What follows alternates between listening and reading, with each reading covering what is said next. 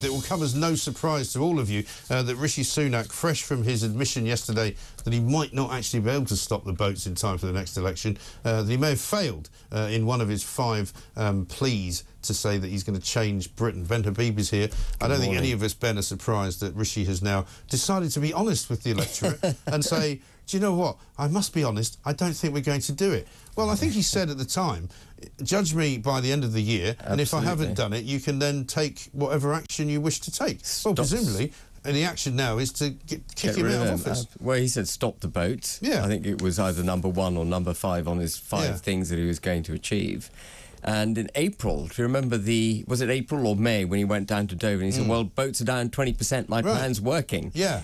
And then all of, a sudden the weather improved yeah. and boom. Exactly. You know, there's been a massive influx. And, and at the time, everybody said, no, it's because they haven't come because the weather's because been bad. the weather. And the tides have been wrong. He knew that, of yeah, course. Of course he did. He was trying to get his little soundbite into yeah. the 24-hour news cycle. Yeah. And I think yesterday, or was it day before yesterday, 800 people came across. Yes. That's 1.6 times Bibby Stockholm, mm. isn't it? Yeah. So that's 1.6 well, I mean, barges, I've seen a figure this none morning. of which are filled. I've seen a figure this morning that suggests that something like 18,000 people have now come over um, within recent weeks. And so it's another record. Every sort of second day, there's yet another record. It's ridiculous, isn't it? It is ridiculous. And... Um, so, just for viewers who aren't already familiar, there can't be very many viewers who aren't familiar with the story, but effectively, Britain's policy with the illegal crossings, the way Rishi Sunak and his cabinet wish to stop the boats, is through deterrence. Mm.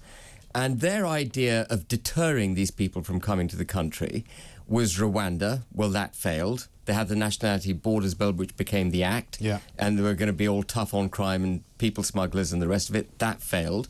The Illegal Migration Bill, which was um, received by all those who would prefer open borders as some kind of devil's act incarnate. Yes. And that was passed into law on the 20th of July. So we've had that for a month. Mm. Giving Suella Braverman the right, in fact, the obligation to detain and then deport people who enter the country yeah. illegally. Well, none of that's happened. Right. So the Illegal Migration Act hasn't worked. Mm. No deterrent has worked. And there's a simple reason for that they get much, much better treatment in the United Kingdom mm. than they do in yeah. France. And we've got the numbers now, Mike. So um, we spent 3.7 billion pounds last year on caring, housing, mm. feeding these people who've right. crossed the channel illegally. Right. They were still presumably in hotels. You remember those uh, Pimlico uh, residents who uh, didn't like the fact that four-star hotel in. Was, you know, room was had too many people in it, and they didn't like the Wi-Fi. You know, they said to Richard Tice when he spoke to them outside the hotel that they'd been in a hotel in Essex for two years. So, I mean, these people yeah. that you talk about who came and we paid for last year will probably still be in the same Absolutely. hotels. They're, and they're not going to be on the Bibby Stockholm, which is now empty. Right. Um, but we spend, just to enumerate it for people who are listening, 50,000 per illegal migrant. The French spend 5,000 yeah. per illegal migrant. There's a £45,000 incentive mm. to cross the channel yeah. and come to the United Kingdom. Right. And Border Force isn't doing what it says no. it should do. Border Force suggests that they might actually use some force at the border. Yes. That's what the name well, implies, doesn't call, it? One of our callers yesterday renamed them the Open Border Force because, in fact, that's what they are. But have a look at this video that's emerged on TikTok, and there's quite a few of these now because an awful lot of these uh, young men are passing these videos around as if it's some kind of great jest and great sort of. I mean, they're not, they're not. No, here it is now. This is a guy who's travelling from France. He's on a train in France. It looks like a pretty nice train. Wow. Uh, he's looking like yeah. he's wearing some pretty decent clothes. I mean, if you looked at this, you would think this is the travelogue of a young man making his way across Europe uh, on a gap year and deciding to sort of make his way uh, into England. And here he is wandering the streets of London. Uh, having arrived here looking very happy, looking very clean. Uh, he's got a new haircut, he's got new clothes. Um, you know, now there he is uh, on a dinghy crossing the channel. And um, I know that there are terrible things that happen on the channel, and terrible things have happened, but an awful lot of the crossings are quite safe because almost all of them get here without any problem at all. They don't look concerned, really. These don't look like people who are frightened of the water, to me. Um, there's an awful lot of them, and it doesn't look particularly safe, but they don't look worried. Um, and then they arrive, as you can see, uh, on the other side of the channel, here in the UK.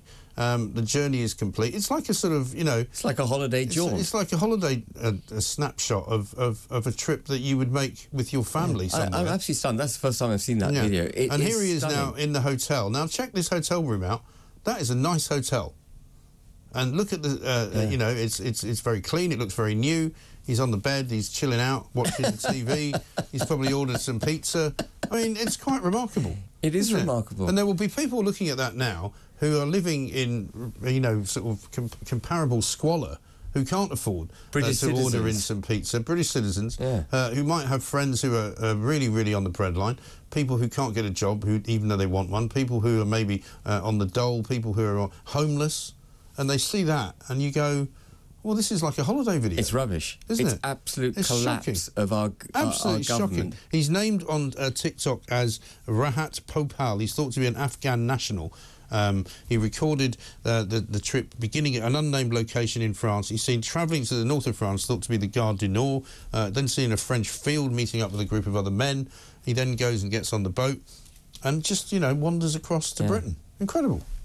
Well, as I said before, Mike, the only form of deterrence that's going to work is actually stopping them in Yeah. the channel. Or stopping them from leaving France. Or, but yeah, but you know the French are never going to do that, are they? they? It must be such a well-trodden route. Hmm. It must be so obvious that these dinghies are sitting in, um, you know, sand dunes hidden away. Yes. Um, must be so obvious where to find them. Must be so easy. They must tread the same path day in, day Hmm. Yeah. out. The launching pads Well, must be very close I don't know if you heard our show last week, but we had a guy who called in who had been to Dunkirk on holiday, and he said that he was on the beaches of Dunkirk, took his family to have a look at, you know, where everything happened, and there, of course, was a big, huge four x four uh, with a big trailer on the back of it, three massive dinghies, uh, who, which were then hook, unhooked from the from the from the car. Wandered, walked down to the edge of the um, of the shore. Then a double-decker bus turns up, full of migrants. Yeah, so it's not exactly picked up. hidden, is it? Right. And the other thing that was going on was there was a, a car, police car, gendarmerie sitting there watching it all, doing nothing. Yeah. Well, there you go. So that's what's happening. That's where our 670 million Yeah. Mm. pounds is gone. The gendarmerie sitting comfortably in their car, watching these people attempting to cross the channel illegally. Yes. And it, uh, we've got to take unilateral action, Mike. We've got to. do- We've got to have a campaign. Talk TV should say. You should start it, Mike. A campaign to stop the boats in the channel. Mm. Yeah. We've got to develop the courage to do it. It's what the Australians did. Mm. and also, people- by the way, the Belgians have apparently stopped them from coming. So if the Belgians can stop them from coming, why is it not possible for the French to do the same? Well, there's no incentive, is there? They want them off their shores. They're being paid. The more we pay them, the more people they send, the more we pay them. They've, you know, they've cottoned on to that positive Yeah. re- reinforcing cycle, and they're just going to keep keep doing it. Yeah. And here's Um, another story that will shock you, because this is coming from uh, haulage firms, and haulage firms are getting together because they say the industry risks losing drivers if the government continues to fine truckers whose vehicles are targeted by migrants. There's a company called EM Rogers, based in Northampton, said one of its drivers was fined £9,000 when three people were found when crossing from Calais to Dover in April. And the company itself was fined 15 grand. Now, what's the difference between people driving lorries who inadvertently bring migrants here and the RNLI who are bringing them actually deliberately. Aiding Why are they not being they're fined? aiding and abetting Yeah. criminal activity. Why are they not These being people, uh, RNLI, are not picking people up who are in distress. They're picking people up who are perfectly happy in their dinghy. Yeah. They're just giving them a free ride. Mm. It's extraordinary. Yeah, absolutely right. And incredibly, um, they're being punished for something that they can't really stop. But in fact, the people who are doing it in a massive way, um, in, in by the thousands, 18,000 people coming this year, are free to do it. Yeah. It doesn't make any sense. It's does it? shocking. And if we have got any strength to the legislation passed in the Illegal Migration Act and the Nationality and Borders Act, if there's any strength in those two acts, why aren't they charging RNLI with the aiding and abetting of people smuggling? Yeah. That that's what RNLI is Well, doing. It's picking so. Up the second leg of what the people smugglers Yeah. started in France. Right. That's that, that's exactly what it is. People might not want to hear that. Yeah. But that is what they're doing, Yeah. and they should be taken to task. And the over it. RNLI will say, of course, that they rescue people who are in danger But on the sea. danger. Well, you, we just saw that video. But they don't look as if they're in danger, and I think that is the issue. I mean, there is a, a, a merchant sea law apparently that says if you see somebody that you think is in peril on the sea, you are duty bound to rescue them. And but then- this is not that. That's not And- what's going on. And that merchant law, by the way, has a qualification hmm. only if it's reasonable to do so. Yeah. And actually, it's not reasonable to, to rescue people who are willfully putting themselves in harm's way Yeah. and attempting to enter your country illegally. I presume it's also not um, um, reasonable to rescue people in French waters and then take them all the way to Britain. Which is what we Surely did just off the French yeah, coast. Surely, Yeah. if you're rescuing them, you take them to the closest part of the land, Which is back to France. which is France, and that's what should be going on. Got this from um, Alex, is in uh, Stratford.